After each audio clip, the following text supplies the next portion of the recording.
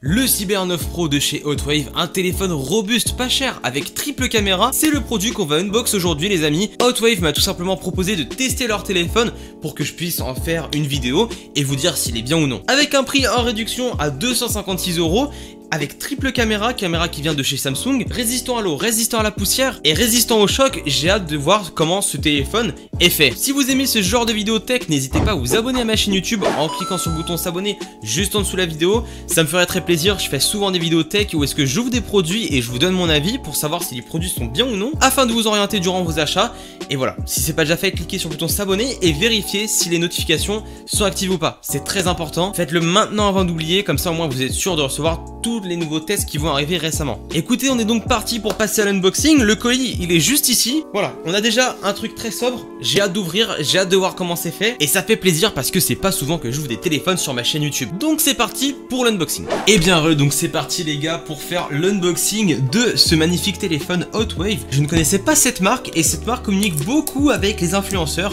Et je me suis dit c'était l'occasion de les démarcher pour leur demander qu'ils m'envoient un produit totalement gratuitement pour que je puisse en faire une vidéo. J'aime bien faire beaucoup de contenu en ce moment, comme ça ça me permet de me donner une étiquette d'unboxing, encore plus qu'avant, surtout que là j'essaie de faire des unboxings avec beaucoup plus d'objets tech un petit peu différents, l'autre coup c'était une caméra de surveillance, encore l'autre coup c'était une clim, enfin bref, du moment que ça se connecte et que euh, ça reste dans la tech, moi je trouve que c'est assez intéressant à montrer, ça change des claviers, vous me direz les gars. Je dois valider euh, une réservation pour les vacances les gars, mais ça fait plaisir ça ah là là, c'est réservé. Alors déjà, on peut voir qu'il y a un certain branding. On a un code couleur. Donc là, c'est le rouge, le rouge assez sombre avec le noir.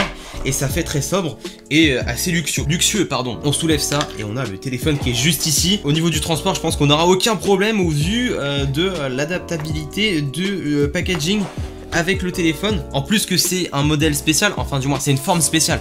Vous avez euh, le fait que ce soit assez résistant aux chutes ici, parce que c'est un téléphone robuste, mais par contre, il est moins épais que le dernier que j'ai ouvert sur ma chaîne YouTube. C'est le plus robuste pour moi au monde. C'est un truc de ouf, les gars. Faut l'avoir dans les mains pour comprendre. Mais comparé au plus robuste que j'ai ouvert, on peut voir qu'il est euh, moins large, et ça, c'est pratique. C'est plus pratique. On enlève, et ça, putain, mais qu'est-ce que c'est satisfaisant, les gars. Ok, donc l'étiquette de protection d'écran est enlevée. Maintenant, à l'intérieur, on va avoir tout ce qui est câble et notice. Voilà, exactement. Alors, c'est un chargeur type C, d'accord On a un adaptateur pour pouvoir brancher ses écouteurs avec une prise jack. Euh, et ben, c'est incroyable. C'est très très cool ça. Le bloc chargeur juste ici. Et ça, c'est pour ouvrir l'emplacement pour mettre les cartes SIM, la notice, ni plus ni moins. Et là, on est bon. Je trouve le tout très bien packagé, très bien protégé. On a l'essentiel, c'est ce qu'on aime pour 256 euros hors réduction. Je trouve qu'on est bien servi. L'expérience client est au cœur du sujet. On peut voir que chez eux, ils soignent bien tout ce qui est les petits détails qui vont faire que l'expérience client va être supérieure à une autre marque et c'est très plaisant. Alors ici, on peut apercevoir une couleur, une espèce de couleur bleue qui va refléter. Je trouve ça stylé. C'est par défaut, j'ai pas choisi de couleur sur euh, le site. Il y a quand même un petit côté gaming. Et je l'ai activé, enfin du moins je l'ai allumé, mais je ressens quand même ce côté gaming. Parce que ok il est robuste, il y a les coins qui vont être un petit peu en, caoutchouc pour pouvoir amortir tous les chocs. Oh ok. Mais il y a quand même cet esprit gaming avec les boutons sur les côtés euh, qui font vachement penser à des marques euh, de, de, produits gaming. Bon écoutez, moi je suis sur l'écran d'accueil. Je pense que avant d'entrer dans le téléphone, regarder les applications, ce qui va être intéressant, c'est de faire une cinématique avec toutes les caractéristiques intéressantes du téléphone. Mais pour le moment, je suis très satisfait. On a un produit qui est résistant, mais il est utilisable dans la vie de tous les jours. Il est peut-être un petit peu lourd, mais franchement pas plus lourd que euh, mon téléphone. Enfin, peut-être un petit peu, mais ça se vaut. Ça se vaut beaucoup, je pense. Ça se voit qu'ils ont essayé d'allier le côté robuste d'un téléphone que beaucoup de gens cherchent. Par exemple, on peut le voir avec la montée des marques euh, de coque protection de téléphone comme Rhino Shield, avec le côté pratique par exemple d'un iPhone. Un iPhone c'est très pratique, mais les gars, certains iPhones, ils cassent vraiment vite. Encore bon, par contre, le 11, à partir du 11, on n'a plus trop ce souci, mais je sais qu'il y a d'anciens iPhones, mais on pouvait les niquer très facilement. Donc là, avec le Cyber 9 Pro, on va pouvoir essayer d'avoir quelque chose de très résistant. On fait une cinématique et on se trouve juste après pour le test. On est donc parti pour la cinématique du Hotwave Cyber 9 Pro à 256 euros, 6,3 pouces en écran, un processeur Mediatek Helio P16 avec 8 Go de RAM, 128 Go d'espace de stockage, une caméra arrière avec 48 mégapixels, triple caméra, dont des caméras qui viennent de chez Samsung, 7500 mAh, ce qui va nous faire une batterie intéressante avec 47 heures d'appel, 22 heures de musique. Alors autant vous dire que la batterie tient bien. Il est donc robuste avec les coins en caoutchouc sur les côtés, résistant à la poussière et résistant à l'eau. On a un Touch ID et un Face ID, le tout sous Android 11. Alors autant vous dire que ce téléphone est très fonctionnel, très pratique d'utilisation, même s'il est résistant, on pourra l'utiliser dans la vie de tous les jours sans qu'il nous encombre. Donc on est donc parti pour le tester dans toutes ses fonctions. Et bien les amis, j'espère que vous avez aimé la cinématique. Ce que je vais faire dès maintenant, c'est tester un petit peu la prise en main et ensuite on le testera, euh, par exemple la caméra, par exemple l'écran et tout ce qui s'ensuit, aussi la puissance qu'on va tester. Donc ce que je peux vous dire au niveau de la prise en main, c'est qu'il est assez simple de euh, le prendre en main. Pourquoi? Parce que je trouve que la taille de l'écran reste quand même potable, il est très semblable à la taille d'un iPhone 11 et euh, juste un peu plus long avec les bords qui vont le surprotéger. Donc vous pouvez voir que c'est très similaire à la taille d'un iPhone 11. Que l'épaisseur, bah, comparé par exemple à un iPhone 11, ça va, c'est pas, euh, pas non plus 10 fois plus et ça reste très facile à utiliser. Donc au niveau de la prise en main, j'ai été très satisfait. Maintenant, passons à la caméra. C'est un truc que je veux tester en priorité sur ce téléphone. Il y a pas mal de choses importantes à voir sur ce téléphone également, les amis. Mais on va pouvoir essayer de faire des choses intéressantes. J'ai mis un petit euh, cactus juste ici. Je vais devoir prendre des photos. Mais alors, on a quand même pas mal de, euh, réglages. La face body, on a d'autres trucs. Le mode pro, le mode pro qui est toujours intéressant à voir. Mode pro, et eh bah écoutez, là on peut faire des gros réglages euh, comme on aime. Donc c'est assez cool le mode pro. On a plein de réglages et ça c'est intéressant. Euh, c'est la première fois que je vois autant de réglages. Enfin je crois pour une vidéo, pour une simple vidéo. 1080, 720, 480. Euh, là c'est pour la qualité de la vidéo. Dans tous les cas je vais faire des tests mais d'accord. Ok. Au niveau paramètres on est bien servi. Là pareil c'est les formats. Donc 16 neuvième par exemple. D'accord. On a plein de formats et c'est assez cool. Donc c'est parti on va voir ce que ça donne en termes d'image et de vidéo. Et bien re les amis là je suis en 1080p avec la vidéo. Je me réveillé il n'y a pas longtemps, vous m'excuserez pour la tête. Et voilà ce que ça donne. Donc je trouve qu'il y a beaucoup de couleurs. Le petit bémol que je pourrais dire, c'est au niveau euh, de, euh, de, la luminosité. Je pense que le réglage peut être mieux fait. Mais mis à part ça, on a des belles couleurs. Et ça, mais les gars, il y a beaucoup de téléphones qui ne font pas attention à la couleur des images. Et c'est très cool d'avoir de la couleur sur des images et des vidéos. C'est ce qui fait quasiment toute la qualité d'une vidéo. Enfin, pas toute, mais ça va impacter fortement le résultat. Donc écoutez, je vais changer un petit peu comme ça, je m'oriente un petit peu différemment. J'essaie de regarder l'objectif. Ok. Et vous pouvez voir que selon la luminosité, ça va beaucoup changer. Et bien heureux, donc caméra euh, arrière avec 1080 pixels, voici ce que ça donne. Voici comment ça rend. Et on peut voir qu'avec les belles couleurs euh, grâce au soleil, ça rend plutôt particulièrement bien. Donc voilà la qualité un petit peu. J'habite en campagne pour ceux qui ne le savaient pas les gars. Et ben voilà, c'est très joli c'est très joli. On a des belles couleurs, on a pas mal de détails et ça fait plaisir. Sur un téléphone qui ne coûte pas 1400 euh, euros, on a des belles fonctions et c'est agréable à voir. On peut voir qu'il y a des belles couleurs avec le téléphone et ça fait très plaisir les amis. Et maintenant le mieux à faire je pense c'est de vous montrer la qualité des images en prenant quelques photos, des euh, très près, des un peu plus loin, enfin bref, toutes sortes de photos pour que vous puissiez vous rendre compte de la qualité de ce téléphone.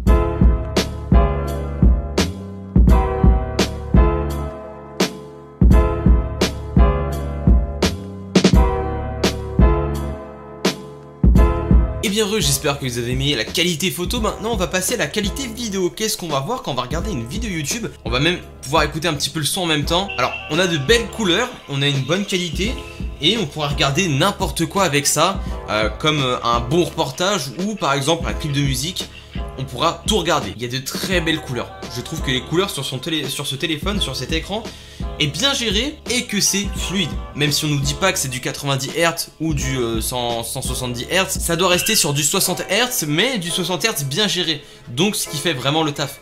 On peut voir qu'il y a une bonne qualité. On va avancer un petit peu mais on peut voir que c'est clean. Bah écoutez, maintenant on va passer au test jeu vidéo. Alors pour ça, j'ai téléchargé Subway Surfer. Pour l'instant, euh, il y a beaucoup de détails je trouve ça assez cool. Ça se voit que c'est pas du 90 Hz, enfin je ne pense pas, euh, mais c'est du bon 60 Hz. Et euh, quand même, on est sur quelque chose de fluide. Après, évidemment, là, ça défile pas euh, énormément. Bon, là, je veux que ça accélère, là. Ça accélère pas. La fluidité est clairement au rendez-vous. Pour l'instant, on n'a aucun bug. Après, effectivement, le jeu est fait pour ne pas trop avoir de bugs et pour éviter tous ces soucis-là. Mais quand même, il y a des téléphones, je suis sûr, qui, bah, là, ça buggerait. Mais là, c'est bien géré. Bon, là, c'est juste moi qui est nul les gars. en termes de processeur, on a le Mediatek Helio P16. Le tout est géré avec Android 11 et euh, je trouve que c'est très très fluide. Donc écoutez, maintenant on va passer un petit peu, on va regarder dans les paramètres ce qui s'y trouve. Bah c'est parti les gars pour les paramètres de ce téléphone. Au niveau des paramètres, alors déjà on peut voir quelque chose d'intéressant, c'est que là ça nous dit euh, combien de temps il reste. Donc 84% de batterie, il reste plus que 2 jours, plus de 2 jours pardon. Dernière charge complète il y a 17 heures, bon d'accord, d'accord donc on a pas mal d'informations, ça c'est toujours intéressant à voir. Le stockage 8% utilisé, 118 Go restants. Accessibilité, on a aussi le Face ID, l'écran est en 720 par 1520 pixels, caméra frontale 16 mégapixels, caméra arrière 48 mégapixels. On a tout de bien détaillé, ça c'est assez cool. C'est clairement à ce euh, là qu'on s'attendait. Donc écoutez, hop, je sais pas si on voit, mais là, je vais éviter de regarder. Là, il y a le petit logo Face ID, et quand je le regarde, hop, ça se désactive. Enfin, ça, ça, ça se déverrouille, pardon. Très bien foutu très très bien foutu. La date et euh, le temps qu'il fait, donc c'est toujours cool. On a un mode euh, enfant, donc c'est à dire que là, vous allez faire ça et ça va passer en mode enfant. Donc euh, on peut voir que l'interface est beaucoup plus simplifiée et puis je pense qu'il y a beaucoup de restrictions, mais c'est toujours intéressant à voir. Écoutez les gars, jusqu'à maintenant je suis très satisfait. Les applications qu'on peut retrouver dans ce téléphone, eh bah elles sont très utiles et euh, il y a bah, le nécessaire, le strict nécessaire qu'il faut quand on commence à utiliser un téléphone. Au niveau des options, bah ici on a euh, comme d'habitude thème sombre par exemple, on va voir ce que ça donne. Le thème sombre, d'accord, bah, il, est, il est beaucoup plus stylé je trouve, beaucoup plus stylé en thème sombre, même dans les messages et tout, d'accord, ok. La lampe torche qui est juste ici, qui est bien placée je trouve et qui fonctionne très bien. Écoutez, on va le mettre à l'eau et puis on va voir s'il résiste bien. Mais déjà, ce qu'on peut euh, voir, les gars, c'est que la fente pour recharger le téléphone, euh, elle est recouverte d'un petit cache qui va permettre de euh, bah, d'étanchéifier le téléphone. Même ici, hein, on peut voir, il y a un petit bouchon Bon écoutez, ça part à l'eau et c'est parti. Et eh bien heureux les amis, c'est parti pour le test waterproof. J'ai rempli euh, la bassine, enfin la bassine, le petit tupperware d'eau. J'ai mis la vidéo qu'on avait commencé à regarder au début et puis c'est parti, hop, ça part à l'eau tout de suite. Hop, donc là c'est immergé et on va voir ce que ça donne. Je vais même en rajouter un petit peu pour vous montrer que c'est pas du pipeau. Hop, voilà, donc là c'est complètement dans l'eau. Là clairement, votre téléphone est plongé dans l'eau et on va voir ce que ça donne mais logiquement ça devrait aller. Et euh, bah voilà. C'est prévu pour dans tous les cas à être très étanche. Mais bon, je pense que j'en abuserai pas non plus, je dirais pas 20 euh, mètres euh, de profondeur sous l'eau, même si ça m'arrive vraiment rarement, voire jamais. Mais au moins on a quelque chose qui va pouvoir résister, par exemple si vous le prenez, euh, je sais pas, sous la douche, ou n'importe où, où il pleut, ou vous le faites tomber quelque part, au moins vous savez pertinemment que le téléphone va résister à l'eau. Et là, bah, on peut voir que c'est déjà le cas. Tout est étanche et fait pour ça, mais à ne pas abuser non plus, je pense. Donc écoutez, je vais l'essuyer un petit coup, et puis c'est parti pour la conclusion, parce que là, ce test est complètement validé, les amis. Le téléphone est très étanche et c'est parti pour la conclusion de cette vidéo. On se retrouve donc pour la conclusion de ce téléphone, le Hotwave Cyber 9 Pro. Alors j'ai beaucoup de choses à dire concernant ce téléphone. Déjà j'ai été très surpris du rapport qualité-prix qu'on a. On a beaucoup de fonctionnalités et des fonctionnalités qui sont respectées, pas à moitié respectées. On a par exemple le Touch ID, le Face ID et des options sur l'appareil photo qui sont très cool. On a une réelle robustesse avec les coins qui sont juste ici en caoutchouc et aussi avec l'étanchéité de l'appareil avec les bouchons sur par exemple le, truc de chargement, enfin la prise de chargement et pareil avec le côté carte SIM. Au niveau de la fluidité, on est très bien. On a pu jouer à Subway Surfer tranquillement grâce au processeur et aux 8 Go de RAM. Le seul bémol que je peux trouver sur le téléphone, mais après bon, les gars, rappelez-vous, on est sur 256 euros. C'est pas non plus 1000 euh, balles. On a tout simplement le fait que ce soit en 60 Hz. Ça peut être juste le seul point, moi je suis habitué à beaucoup plus. Ça peut être le seul point qui peut déranger, mais il faut savoir faire des compromis quand on a un prix à 256 euros. La qualité photo est incroyable, également la qualité vidéo, on a des choses de très bonne qualité. Le test waterproof est complètement validé. Les gars, si vous êtes intéressé par le produit, tout sera en description. Le lien du site, également le lien du produit seront en description. Donc n'hésitez pas à aller faire un petit tour. Moi en tout cas, c'est avec plaisir que je vous redirige vers leurs produits et leurs marques parce que bah, je suis satisfait. 256 euros, on a un téléphone qui va tenir dans le temps, j'en suis sûr, au vu de la robustesse, au vu de toutes les fonctionnalités qu'on a. Donc je vous invite à aller faire un petit tour en description. Si c'est pas déjà fait, n'hésitez pas à vous abonner à ma chaîne YouTube en cliquant sur le bouton s'abonner juste en dessous de la vidéo, activer les notifications. Et puis nous, bah, on se retrouve à la prochaine pour une nouvelle vidéo. En tout cas, je encore la marque Hotwave de m'avoir fait confiance, de m'avoir envoyé ce téléphone pour que je puisse le tester vous le présenter et vous dire un avis concret, honnête, transparent comme d'habitude. Sur ce, je vous souhaite une très bonne journée.